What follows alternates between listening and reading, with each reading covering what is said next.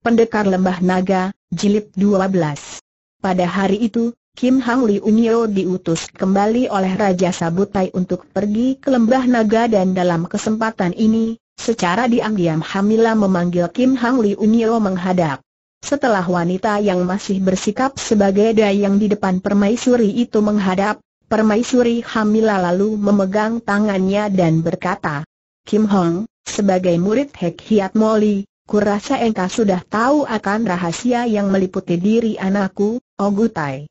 Benarkah dugaanku ini permaisuri yang masih kelihatan cantik sekali itu memandang wajah Kim Hang Li Unyo dengan penuh selidik. Wajah ini masih cantik dan muda, bahkan kelihatan lebih muda daripada wajah Seng Permaisuri, Sungguh pun usia Kim Hang Li Unyo pada waktu itu sudah 35 tahun sedangkan usia Seng Permaisuri baru 30 tahun lebih sedikit.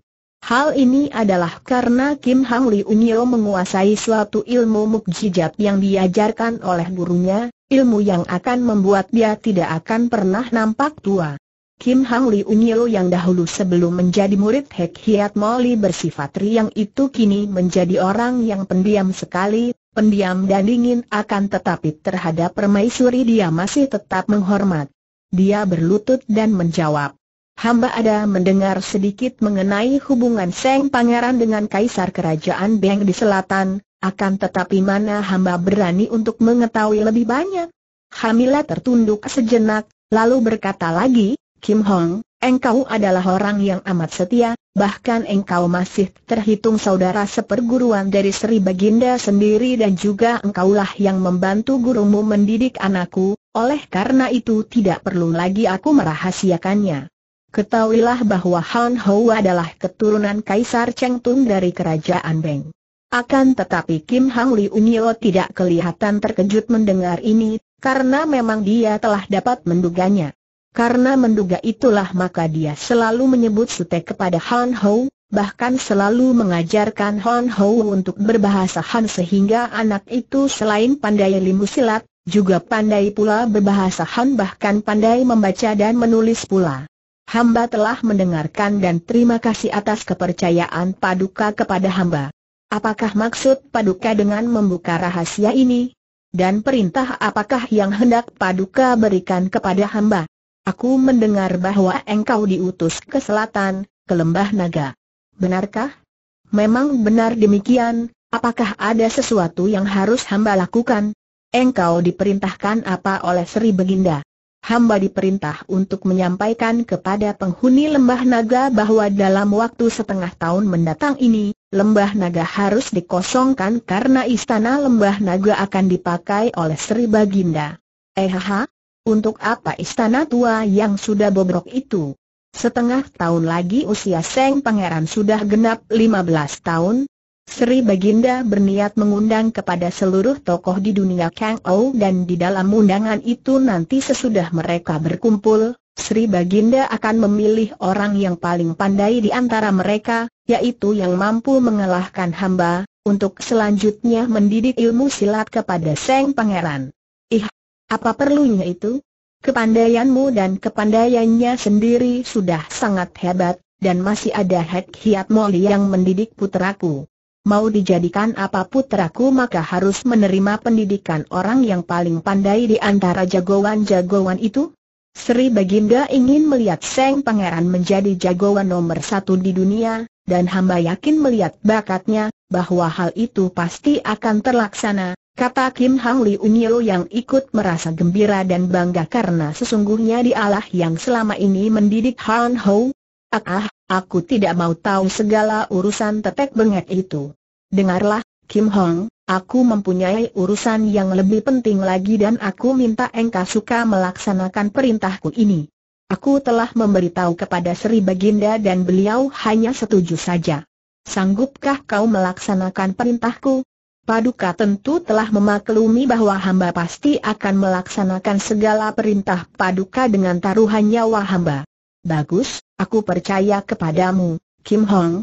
Begini, sesudah engkau mengunjungi istana lembah naga, bersama Han Ho yang harus kau ajak serta, kau antarkanlah anakku itu melintasi tembok besar dan mengunjungi kota raja kerajaan Beng. Ah Kim Hang Li Unyo benar-benar terkejut bukan main karena sama sekali tidak diduganya bahwa tugas yang akan diserahkan kepadanya demikian hebatnya. Hamba, hamba, mendengarkan, katanya. Aku mendengar bahwa saat ini Kaisar sedang menderita sakit. Hatiku merasa tidak enak sekali dan aku selamanya tentu akan menderita tekanan batin kalau putraku itu belum sempat melihat wajah ayah kandungnya. Maka ajaklah dia menghadap dan pertemukan dia dengan Kaisar sebelum terjadi apa-apa dengan Kaisar, Kim Hong. Hamba siap melaksanakan tugas. Akan tetapi, hamba kira tak akan mudah untuk dapat menghadap Kaisar begitu saja, dan untuk menggunakan kekerasan, ahaha, rasanya hal itu tidak mungkin. Tenaga hamba seorang mana mampu melakukan hal seperti itu? Permaisuri Hamila tersenyum lembut, kemudian mengeluarkan sebuah kotak kecil. Kau bawalah ini, di dalamnya terdapat suratku dan sebuah benda yang pasti akan dikenal di sana dan akan membuka semua pintu istana untuk putraku. Kim Hang Li Unyo menerima sambil berlutut, tidak banyak bertanya. Hati wanita ini merasa lega ketika Sri Baginda sendiri datang dan dengan wajah yang keras mengatakan, Kim Hong, aku serahkan keselamatan Ogutai kepadamu. Engkau adalah sumoiku sendiri, bahkan Ogutai adalah sutemu juga. Sebab itu engkaulah yang bertanggung jawab atas keselamatan putraku. Akan hamba lindungi dengan pertaruhan nyawa hamba. Selembar nyawa hamba yang menjadi tanggungannya, Sri Baginda jawab Kim Hang Li Unyo dengan tegas dan penuh dengan kebanggaan. Demikianlah, pada hari itu Kim Hang Li Unyo berangkat bersama Cheng Hon Ho dengan menunggang kereta yang mewah menuju ke selatan dan dikawal oleh 17 orang pengawal pilihan, yang bertindak sebagai anak buah dan juga melayani segala keperluan Seng Pangeran. Dan seperti diceritakan di bagian depan, perjalanan itu dihadang oleh orang-orang yang merasa sakit hati terhadap Kim Hang Li Unyo yang sudah banyak membunuhi orang-orang Siap, Tio, dan Chia. Kim Hang Li Unyo mengajak sutenya untuk meninggalkan kereta karena dia ingin melatih sutenya itu menghadapi orang-orang yang dianggapnya tidak terlalu berbahaya itu dan seperti telah diceritakan di bagian depan, lima orang itu dengan mudah dapat mereka tewaskan, kemudian sesudah itu mereka menerima undangan dari Jeng Hwe Apang yang mengirim surat beracun yang berbahaya itu. Seperti tidak pernah terjadi sesuatu, Kini Kim Hang Li Unyo bersama Han Ho sudah menunggang kereta lagi, menuju ke Lembah Naga. Karena rombongan ini menggunakan kereta, maka mereka harus mengambil jalan raya yang lebar, jalan memutar, tidak seperti Xiong Mu yang tadi mengintai dari tempat persembunyiannya, dan kini anak ini dapat mendahului pulang ke istana Lembah Naga melalui jalan yang jauh lebih dekat namun tidak mungkin ditempuh oleh kereta itu. Sin Leong Hok Boan memanggil-manggil dengan suara marah. Dia sudah membawa sebatang cambuk rotan yang sudah disiapkannya untuk menghajar anak itu. Hatinya menjadi semakin marah pada saat dia tidak melihat anak itu dan tidak mendengar jawabannya, maka dia lalu mencari ke belakang kandang kuda. Sin Leong, di mana kau? Hayo cepat ke sini kembali Hok Boan berteriak. Tiba-tiba saja terdengar jawaban Sin Leong dari atas sebatang pohon di tepi hutan dekat kandang itu. Gihu memanggil saya? Saya berada di sini. Hok Boan berlari ke bawah pohon itu, bertolak pinggang dan memandang ke atas. Dia melihat Sin Leong sedang duduk di cabang pohon itu. Hayo lekas turun kau, anak jahat dan kurang ajar. Sin Leong terkejut dan cepat dia merayap turun dari atas pohon lalu berdiri di depan ayah angkatnya itu dengan kepala ditundukkan. Dia tahu bahwa ayah angkatnya ini kelihatan marah tentu berhubung dengan peristiwa perkelahiannya dengan Xiong Bu pagi tadi. Engkau berani melawan Kuan Kong Chu, ya bentak Hok Buan. Bagaimanakah pesan dan laranganku dahulu itu? Engkau berani melanggarnya, ya? Hayo katakan, Siapa yang kau andalkan? Hayo siapa kemarahan Hok Boan sebenarnya tertuju kepada istrinya yang menurut pengaduan Siong Bu telah menampar anak itu, akan tetapi karena dia tidak mau ribut-ribut langsung dengan istrinya, maka kemarahan itu kini ditimpakan kepada Sin Leong dan ingin dia mendengar anak ini mengandalkan ibu angkatnya. Akan tetapi Sin Leong tidak menjawab. Dia tahu ayah angkatnya ini sangat memanjakan dua orang keponakannya itu, maka tentu akan percuma saja apabila dia membela diri dengan kata-kata. Dia adalah seorang anak keras hati, maka kini dia berdiri menunduk sambil menggigit bibir. Kau tidak lekas berlutut minta ampun kembali Hok Boan menghardik, semakin marah melihat anak itu berdiri dengan bandelnya.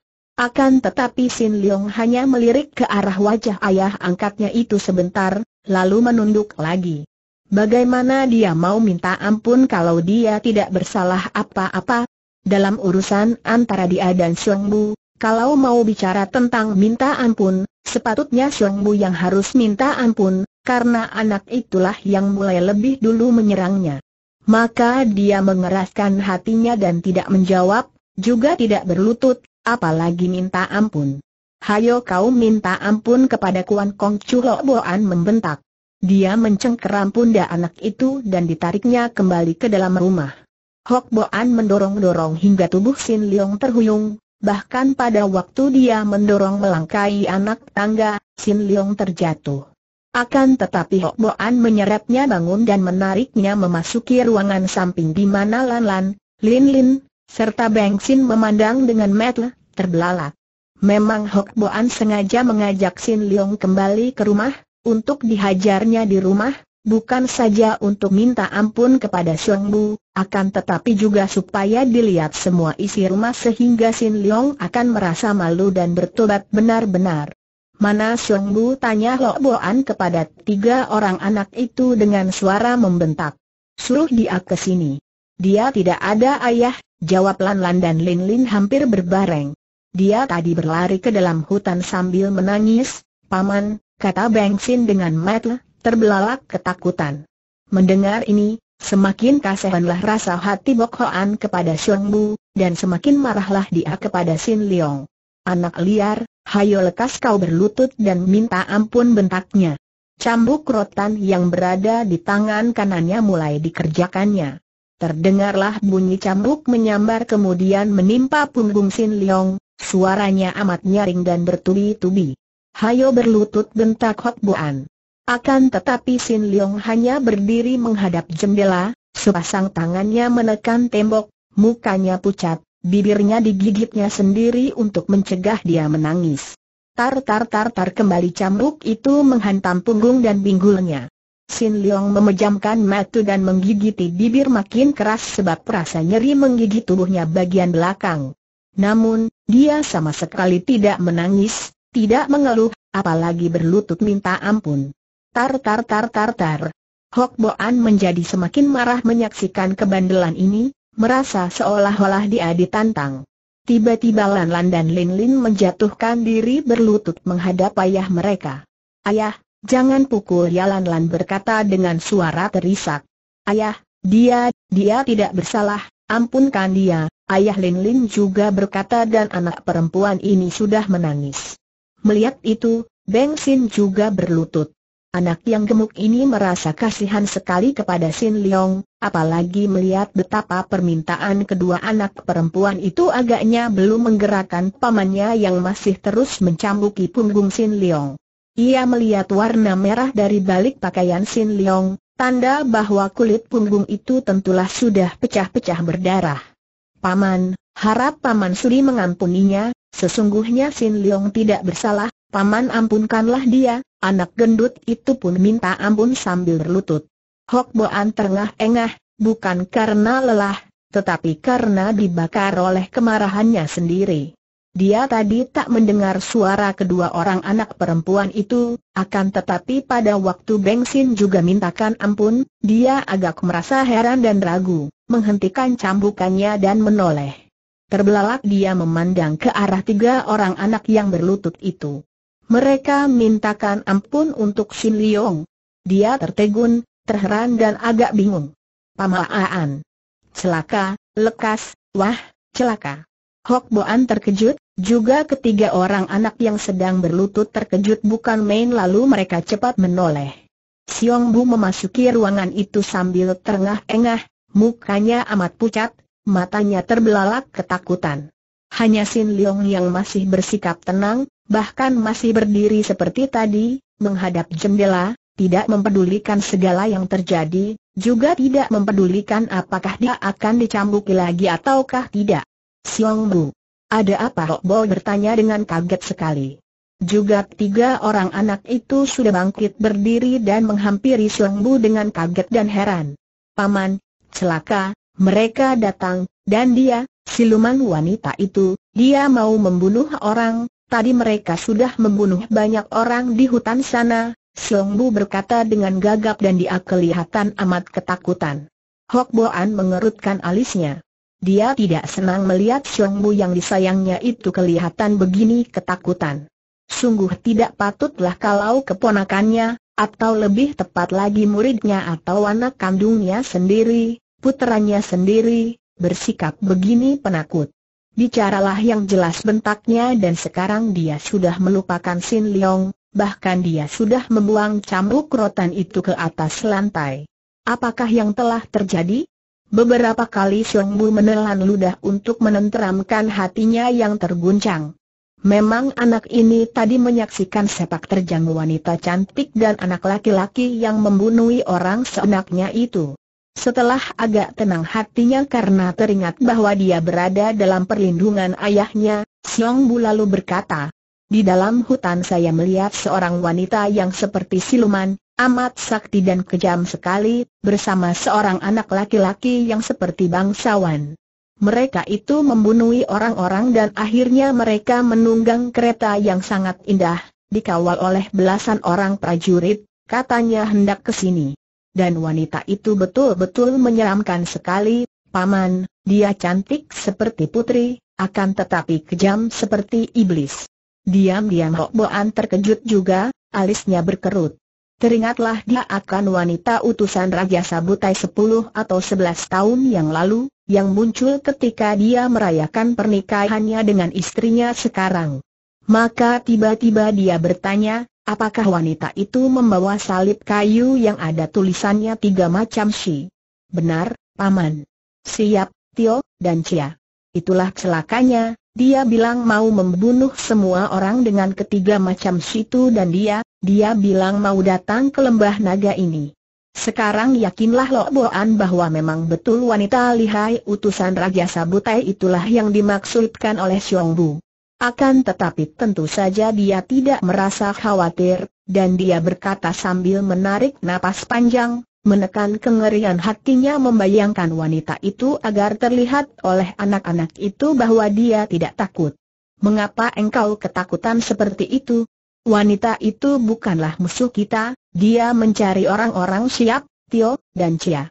Apakah yang mesti dikhawatirkan? Di sini tidak ada seorang pun yang mempunyai siap, Tio, atau Cia. Janganlah kau terlampau mudah ketakutan, Siong Bu. Tapi, Paman, bukankah dia itu si Cia? Hok Boan terkejut ketika melihat Siong Bu menudingkan jari telunjuknya kepada Sin Leong yang masih berdiri di depan jendela. Apa katamu tanda seru bentaknya? Dia, dia adalah si Cia, maka celakalah kalau wanita itu datang. Pada saat itu, terdengarlah suara halus dan nyaring, Siapakah si Cia? Hok Boan cepat-cepat menoleh dan bulu tengkuknya meremang ketika dia melihat wanita itu yang segera dikenalnya. Biarpun sudah lewat 11 tahun, akan tetapi seolah-olah baru kemarin saja dia melihat wanita ini datang ke dalam ruangan pesta pernikahannya dan membunuhi orang. Tidak ada perubahan sama sekali pada wanita itu, wajahnya masih kelihatan cantik jelita seperti dulu, cantik dan agung, seperti seorang putri raja, sikapnya dingin, angkuh, dan tahi lalat hitam kecil di dagunya membuatnya nampak makin manis. Masih kelihatan muda belia seperti dulu, padahal dibandingkan dengan kemunculannya yang pertama, tentu kini usianya sudah bertambah 11 tahun. Cepat Lok Boan melangkah maju dan menjura dengan hormat sekali, lalu tersenyum dan berkata lembut, Aih, kiranya kau Nio, Nona, yang datang mengunjungi kami.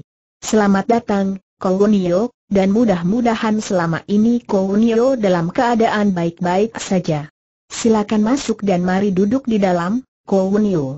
Akan tetapi wanita itu seolah-olah tidak mendengar penyambutan yang amat menghormat itu. Sepasang matanya yang jeli dan tajam itu menyambar ke sekeliling, ke arah wajah lima orang anak itu, dan sejenak menatap wajah Sin Leong karena anak ini juga sudah membalikan tubuh menghadap dan memandang kepadanya. Siapakah yang memiliki Shicia kembali terdengar pertanyaannya, pertanyaan yang singkat, lirih, terdengar satu-satu dan membawa suasana dingin dan tegang sekali karena di dalam suara ini terkandung ancaman maut. Hok Boan merasa mulutnya kering dan diam-diam dia mengerling ke arah Sin Leong. Baru tadi dia mendengar dari Xiong Bu bahwa Sin Leong secia, dan hal ini sungguh sangat mengherankan hatinya dan tidak dimengertinya. Akan tetapi tentu saja dia tidak dapat menunjukkan Sin Leong kepada wanita itu bahwa anak itu sucia karena sekali wanita itu tahu, tanpa banyak cakap lagi tentu Sin Leong akan dibunuhnya. Dan Hok Boan maklum bahwa dia tidak boleh melakukan hal itu. Dia tahu betapa istrinya amat sayang kepada Sin Leong.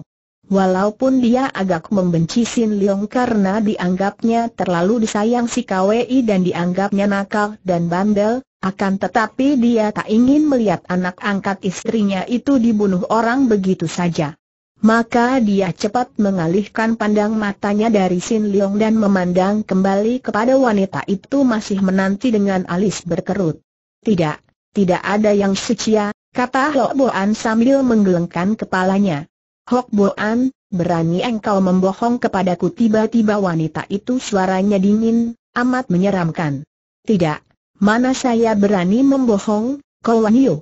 Aku sendiri mendengar kalian tadi bicara tentang seorang sucia di sini. Hayo mengaku, siapa sucia di antara kalian? Sejak tadi Sin Leong diam saja dan hanya memandang dengan matanya yang terbelalak lebar. Dia tidak takut kepada wanita ini, dan dia tahu bahwa dialah sucia itu. Kini dia merasa heran mengapa ayah angkatnya yang membencinya itu tidak mau menyerahkan dia kepada wanita iblis itu. Bukankah wanita ini yang tadi diceritakan oleh Xiong Bu dan yang hendak membunuh semua orang siap, Tio dan Chia? Mengapa ayah angkatnya tidak mau mengaku terus terang saja agar dia dibunuh oleh wanita itu? Dan dia melirik ke arah Xiong Bu. Juga anak ini sama sekali tidak membuka mulut. Hayo cepat katakan, kalau tidak, akan ku siksa kalian seorang demi seorang wanita itu kembali melayangkan pandangan matanya, dari Hok Boan yang pucat mukanya sampai kepada semua anak yang tertunduk dan ketakutan. Hanya Sin Leong seorang yang berdiri dengan tegak, memandangnya dengan penuh keberanian. Kim Hang Li Unyo merasa heran dan mengerutkan alisnya, Hatinya tidak senang dan tidak puas melihat seorang anak laki-laki yang tidak kelihatan takut kepadanya. Padahal anak inilah yang tadi dirangket oleh Hok Boan, dicambuki tetapi sedikit pun anak itu tadi tidak mengeluh, padahal dari baju anak itu dapat dilihat bahwa kulit punggungnya pecah-pecah dan berdarah. Dia lalu menoleh pada Song Bu yang tertunduk dan matanya melirik ke arah pamannya. Melihat wajah anak ini tampan dan mirip dengan wajah Hok Boan, Kim Hang Li Unyo lalu mendapatkan akal. Hayo katakan, jika tidak, anak ini akan ku siksa lebih dulu katanya sambil menghampiri Xiong Bu. Anak laki-laki yang tadinya memang telah merasa amat ngeri dan ketakutan menyaksikan sepak terjang wanita iblis ini, kini kedua kakinya menggigil dan wajahnya menjadi pucat sekali. Bukankah engkau yang tadi bilang tentang orang suci ya? Hayo katakan, di mana dia, jika tidak, telingamu ini akan kucabut putus sambil berkata demikian, Kim Hang Li Unyo mencubit telinga kiri Xiong Bu. Anak itu makin ketakutan dan menggeleng-gelengkan kepala tidak mampu mengeluarkan suara. Diam-diam Sin Leong merasa makin heran dan juga terharu. Biasanya, Xiong Bu begitu kasar dan jahat kepada dirinya, dianggap selalu memusuhinya, akan tetapi kenapa sekarang, biarpun diancam secara hebat, Siong Bu tidak mau mencelakainya dengan menunjukkan senyap kepada wanita iblis itu? Dia tidak tahu bahwa dalam batin Siong Bu juga terdapat benih kegagahan yang tidak mau berbuat khianat. Harap jangan ganggu dia tiba-tiba saja Hok Boan berseru dan cepat melangkah maju menghampiri wanita itu. Kim Hang Li Unyo melepaskan Bu, lalu dengan perlahan-lahan membalikan tubuh, tersenyum sambil mengangguk-angguk kepada Lo Boan. Hem, jadi engkau berani menentangku, ya? Kau kira sukar bagiku untuk membasmi kalian sekeluarga apabila aku menghendaki? Kalau aku membunuh anak ini, kau mau apa? Kolonio, harap jangan mengganggu kami sekeluarga. Percayalah, kami tidak memiliki hubungan dengan musuh-musuhmu. Kalau aku tetap hendak mengganggu keluargamu, kau mau apa, Kui Hok Boan? Hok Boan adalah orang yang biasanya amat mengandalkan kepandaian sendiri, bahkan biasanya dia memandang rendah orang lain karena percaya bahwa ilmu kepandaiannya sudah tinggi dan jarang menemui tanding. Biarpun dia tahu bahwa wanita ini amat lihat dan mungkin sekali dia tidak akan mampu menandinginya, akan tetapi karena dia didesak dan diejek terus, ditantang secara terang-terangan seperti itu, mukanya yang pucat tadi kini perlahan-lahan berubah memerah. Apa yang akan dilakukan orang bila keluarganya diganggu? Tentu saja dia akan melawan sedapatnya katanya dengan sikap gagah, dan dadanya agak diangkat sedikit. Bagus. Sudah lama aku mendengar bahwa ilmu silat yang kau warisi dari Godi Pai itu amat lihai. Nah, coba kau hadapi seranganku, apakah engkau sanggup bertahan sampai sepuluh jurus? Kolonio, kami menyambut kedatangan Kolonio sebagai tamu yang kami hormati, dan saya sama sekali tidak hendak bermusuhan dengan Kolonio. Cukup. Lekas katakan siapa orang sucia itu atau kau harus menghadapi aku sampai sepuluh jurus. Melihat sikap wanita itu yang mendesak pamannya, Beng Sindam diam lalu merangkak ke pintu, hendak lari keluar dan melapor kepada bibinya. Dia tahu bahwa bibinya juga lihai, kabarnya tidak kalah lihai daripada pamannya, maka kalau bibinya itu membantu pamannya dan mereka berdua maju menghadapi wanita iblis ini, Agaknya mereka tidak akan kalah. Ke mana kau tiba-tiba wanita itu membentak, tangannya bergerak ke arah pintu dan, aneh sekali, tanpa disentuh, tubuh Bengsin yang gemuk itu terjengkang seperti ditarik dan bergulingan masuk kembali ke dalam ruangan itu. Melihat ini, terdengar Lan Lan dan Lin Lin menjerit. Akan tetapi ternyata Bengsin hanya kaget saja dan sedikit sakit karena terbanting, Selain itu dia tidak terluka apa pun. Kolonio, engkau terlampau mendesak orang Hokboan berseru marah setelah melihat keponakannya, yang sebenarnya juga putranya, yang gemuk itu dirobohkan, maka dia lalu menerjang dengan kepalan tangannya, menyerang wanita itu. Hem, ini adalah Hek Wan Hian Ke, lutung hitam memberi buah, dari Godi Pai, bukan? Tidak terlalu jelek, tidak terlalu jelek, kata Kim Hang Li Unyo sambil melangkah mundur dan menangkis serangan itu. Hok Boan terkejut karena baru saja bergerak ternyata lawan telah dapat mengenal jurus ilmu silatnya.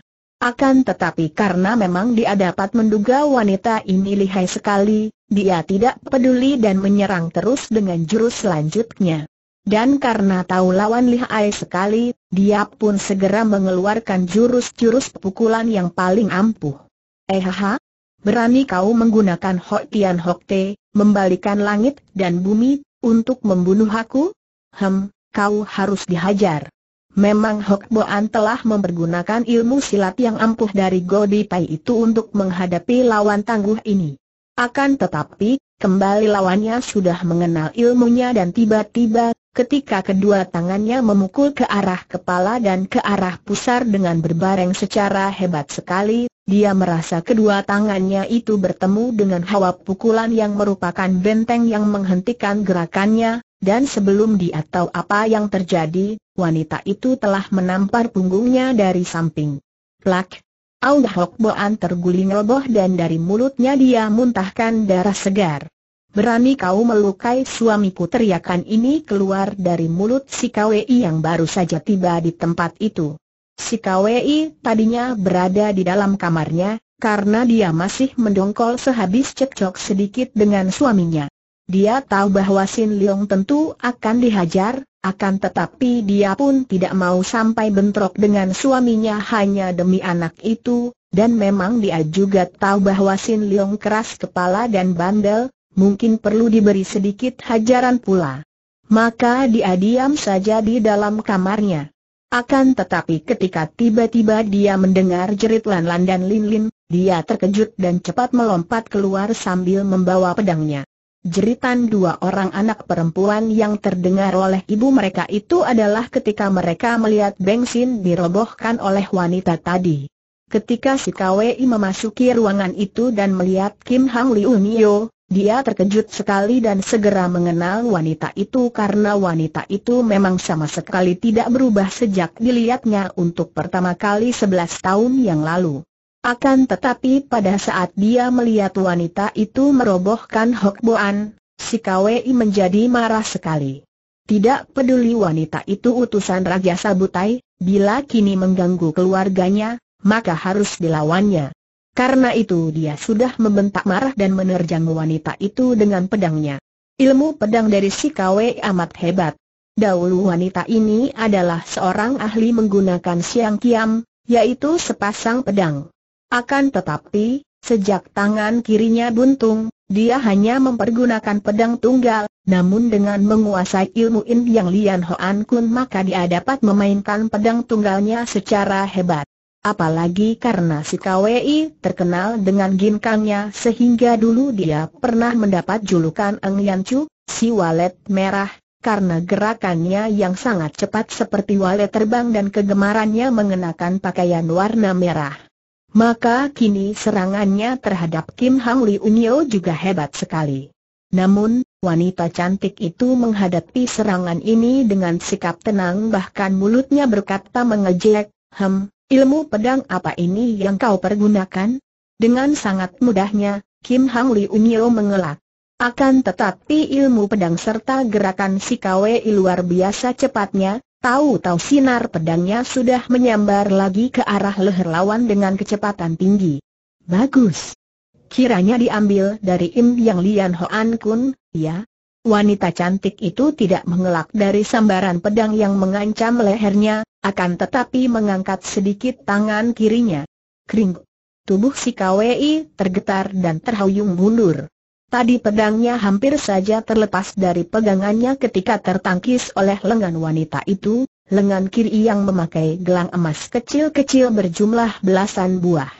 Gelang-gelang kecil inilah yang tadi menangkis pedang dan membuat si KWI terhuyung. Bukan main. Maklum bahwa dia bukan tandingan wanita itu, Melihat bahwa suaminya sudah tidak lagi mengalami luka parah, hatinya lega dan dia pun menghentikan serangannya. Mengapa engkau menyerang suamiku demikian tanyanya sebagai pembelaan diri telah berani menyerang wanita itu. Dia teringat bahwa wanita ini adalah utusan Raja Sabutai, maka kalau saja tidak melihat wanita itu tadi merobohkan suaminya, dia pun akan berpikir panjang lebih dulu sebelum berani menyerangnya. Kolonio, harap Kounio suka memaafkan kami dan harap jangan mengganggu keluarga kami yang tidak mempunyai kesalahan terhadap Kounio. Kini Hok Boan berkata karena dia maklum bahwa dia dan istrinya sama sekali tak akan mampu menghadapi wanita ini. Pula, memusuhi utusan Raja Sabutai sama saja dengan membunuh diri karena mereka berada di daerah kekuasaan Raja Liar itu. Karena itu lebih baik mengalah dan melupakan penghinaan tadi, bersikap merendah. Kim Hang Li Unyo kembali memandangi mereka itu satu demi satu dengan sinar matanya yang tajam dan dingin mengerikan. Lalu katanya, seperti tadi, lirih dan satu-satu namun penuh desakan dan ancaman, siapakah orang Sucia? Si KWI terkejut mendengar pertanyaan ini. Orang Si. Cia. Apa maksudmu dengan pertanyaan itu? Kau Nio tanyanya dengan wajah berubah pucat. Kim Hang Li Unyo memandang kepadanya dengan sinar mata, tajam penuh selidik, sinar mata yang seolah-olah hendak menjenguk ke dalam isi hati wanita itu. Nyonya Buntung, siapakah orang suci di sini tanyanya, suaranya penuh ancaman. Dalam keadaan biasa, tentu si KWI akan marah disebut sebagai Nyonya Buntung. Akan tetapi pada saat itu, Disebutnya Sucia membuat jantungnya berdebar tegang sehingga dia pun tidak mempedulikan sebutan itu. Aku tidak tahu, di sini tidak ada yang Sucia jawabnya tegas. Sejenak Kim Hang Li Unyo beradu pandang dengan si KWI, kemudian wanita cantik itu menoleh kepada Kui Hok Boan, dengan suara seperti tadi, suara yang menyeramkan itu, dia mengajukan pertanyaannya kepada sastrawan itu, siapakah orang sucia di sini? Hok Boan cepat menggeleng kepalanya. Tidak ada, tidak ada yang sucia jawabnya dengan suara tegas pula. Kim Hang Li Unyo juga memandang tajam kepada laki-laki ini, Baru kemudian dia menoleh kepada Lan Lan yang memandangnya dengan mata terbelalak. Adik manis, siapakah orang sucia di sini? Lan Lan menjawab sambil menggeleng kepala, suaranya tidak jelas, tidak tahu, tidak ada sucia. Kim Hang Li Unyo lalu berpaling kepada Lin Lin yang menundukkan muka. Dan kau, nona cilik, tahukah kau siapa orang sucia di sini? Lin Lin mengangkat muka memandang wanita itu, lalu menunduk kembali dan menjawab, tidak tahu, tidak ada Sucia. Kim Hang Li Unyo segera memutar tubuhnya. Di samping Lin Lin berdiri Sin Leong akan tetapi dia tidak bertanya kepada anak itu. Percuma saja, pikirnya, dan anak ini agaknya tidak disayang oleh suami istri itu maka tak ada harganya bagi dia. Dipandangnya Beng Sin dan bertanyalah dia kembali. Kau, bocah gemuk. Siapa orang sucia di sini? Tidak tahu. Tidak tahu. Tidak ada orang sucia Bengsin menjawab gagap dan tegas, lalu menundukkan mukanya. Kini tiba giliran Xiong Bu, Sin Leong yang sejak tadi terus mengikuti gerak-gerik wanita itu, sekarang ikut pula memandang kepada Xiong Bu dan jantungnya berdebar penuh dugaan ketika mendengar wanita itu bertanya. Sekarang engkau, yang tadi ku dengar suaramu, hayo katakan siapakah orang sucia di sini? Siong Bu mengangkat muka memandang, lalu menoleh kepada yang lain, akan tetapi dia melewati muka Sin Leong, lalu menggeleng kepala, aku tidak tahu. Di sini tidak ada orang sucia setelah berkata demikian, cepat-cepat dia menundukkan muka pula agar jangan sampai menoleh kepada Sin Leong. Kembali Sin Leong merasa terharu. Baru sekarang dia melihat kenyataan bahwa betapapun juga, ternyata keluarga ini tidak rela melihat dia terancam bahaya maut dan hal ini segera mendatangkan perasaan demikian gembira dan lega di dalam dadanya sehingga dia agak tersenyum dan wajahnya berseri-seri, rasa nyeri pada punggungnya lenyap tak terasakan lagi. Keadaan menjadi makin menegangkan dan Hok Boan bersama istrinya sudah siap untuk menghadapi segala kemungkinan kalau-kalau wanita itu akan memperlihatkan kemarahan dan kekecewaannya karena semua keluarga itu menjawab tidak tahu. Akan tetapi, wanita cantik itu tersenyum. Tersenyum manis sekali, senyum yang sangat mengherankan hati Hok Boan akan tetapi membuat bulu tengkuk si KWI meremang karena dia yang sejak dulu sudah biasa bergaul dengan tokoh-tokoh golongan sesat yang berwatak aneh-aneh, sudah mengerti senyum yang mengerikan ini. Manis memang, mungkin memikat bagi hati pria, akan tetapi di balik senyum itu terkandung ancaman maut mengerikan. Senyum itu melebar sehingga sekilas pandang nampak gigi putih kemilau di balik belahan bibir merah basah itu, lantas bibir itu bergerak-gerak dan berkatalah dia, bagus sekali, agaknya memang harus ada seorang di antara kalian yang disiksa, barulah kalian mau mengaku. Baik, anak manis ini tentu tidak akan menjadi manis lagi kalau ujung hidungnya kupotong. Cepat laksana kilat, Tahu-tahu tangannya telah mencengkeram pundak Lan Lan kemudian diangkatnya tubuh anak itu ke atas. Lan Lan menjerit, si KWI dan Lin Lin juga menjerit. Akulah orang suci tiba-tiba terdengar suara nyaring dan keras. Semua orang terbelalak dan memandang kepada Sin Leong yang mengeluarkan kata-kata itu dengan suara lantang tadi.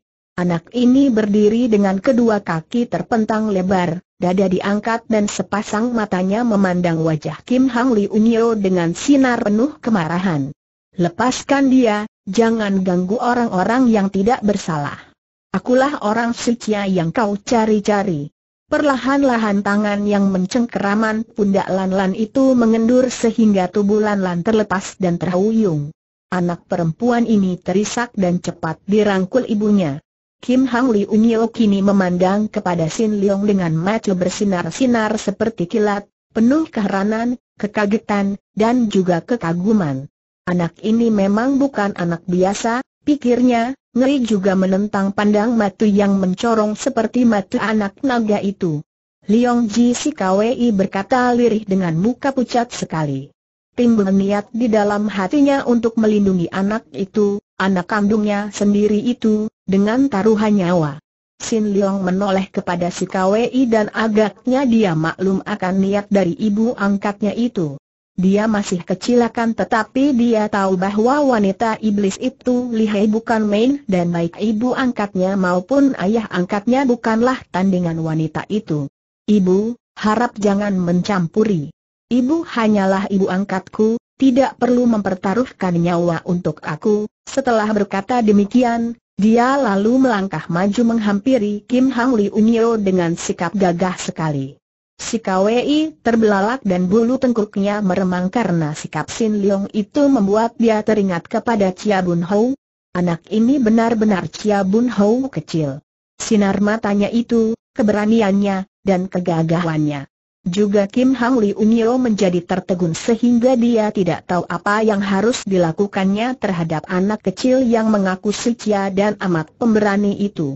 Dan anak ini tadi dihajar oleh Kui Hok Boan, sedikit pun tidak mengeluh, bahkan dimintakan ampun oleh anak-anak lain.